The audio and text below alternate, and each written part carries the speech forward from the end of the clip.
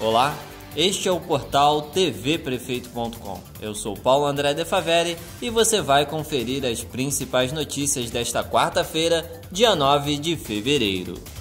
Empresas de pequeno porte que tiveram faturamento anual acima de 3,6 milhões de reais e inferior a 4,8 milhões de reais não serão desenquadradas do sistema simplificado de recolhimento de impostos a nível estadual. A determinação é o projeto de lei 5144/21 de autoria do deputado André Siciliano do PT, que a Alerj aprovou nesta última terça-feira, dia 8, em discussão única. O texto segue para o governador Cláudio Castro, que tem até 15 dias úteis para sancioná-lo ou vetá-lo. Segundo a proposta, essas empresas ficarão sujeitas ao recolhimento da diferença entre a alíquota simplificada do ICMS e a alíquota aplicável aos demais contribuintes do imposto. A Secretaria Municipal de Obras e Defesa Civil de Duque de Caxias, junto à Secretaria Municipal de Assistência Social e Direitos Humanos, continua trabalhando em Xerém para atender as famílias prejudicadas pelas chuvas que atingiram a região na última segunda-feira, dia 7.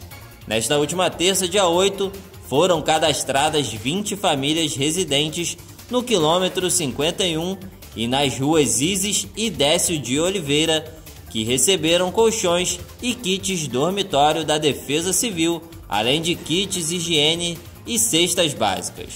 Trito, homens e máquinas da prefeitura seguem trabalhando limpando as ruas e redes de escoamento de água.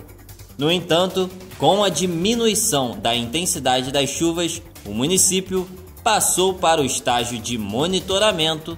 Entretanto, a Defesa Civil informa que, como ainda há previsão de chuva moderada a forte para esta quarta-feira, a classificação pode mudar no decorrer do dia.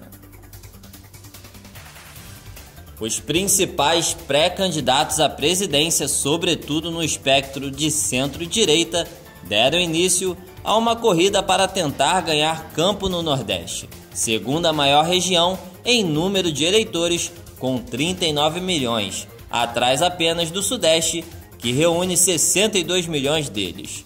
O presidente Jair Bolsonaro do PL e o ex-ministro Sérgio Moro do Podemos embarcaram nesta semana para estados nordestinos. Assim como acontece historicamente, hoje o ex-presidente Luiz Inácio Lula da Silva do PT é o líder nas pesquisas de opinião feitas entre o eleitorado daquela região. O levantamento mais recente realizado em dezembro pelo IPEC mostra que daquela região Bolsonaro tem 15% de intenções de voto contra 21% no país todo. O petista, por sua vez, passa de 48% para 63%. No caso de Moro, o índice cai de 6% para 3%. Ciro Gomes, do PDT, que construiu sua carreira política no Ceará, tem um pequeno avanço, dentro da margem de erro de 5% para 6%.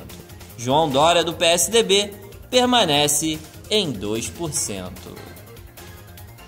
A assessoria criminal da Procuradoria-Geral da República abriu hoje um procedimento para apurar se houve apologia ao nazismo por parte do deputado Kim Kataguri do DEM e do apresentador do Flow Podcast, Bruno Ayub, o Monarque, durante o programa transmitido nesta última segunda-feira. A abertura da investigação foi determinada pelo procurador-geral Augusto Aras no programa do qual participaram Kataguri e a deputada Tabata Amaral do PSB, Monarque se disse favorável à existência de um partido nazista no Brasil. Caso se conclua que houve algum tipo de crime na fala do deputado e do apresentador, a Procuradoria-Geral da República poderá denunciá-los ao STF no caso de Kataguri e à Justiça de São Paulo no caso de Monarque. O comentarista Adrilles Jorge da Jovem Pan chamou atenção nesta última terça-feira, dia 8, após ter reproduzido um gesto com a mão direita, imediatamente associado por espectadores à saudação nazista ao fim de um debate sobre as declarações dadas pelo ex-apresentador do Flow Podcast Monarch. O ex-BBB nega que tenha tido a intenção de reproduzir o aceno. Ao fim do programa, no entanto, é possível ouvir o jornalista William Travassos reagindo ao gesto, dizendo: surreal, Adriles. O comentarista então sorri como se tivesse feito uma piada. Essas e outras notícias vocês encontram acessando o nosso portal tvprefeito.com. Não deixem de se inscrever no nosso canal no YouTube, curtir a nossa página no Facebook e nos seguir no Twitter e no Instagram.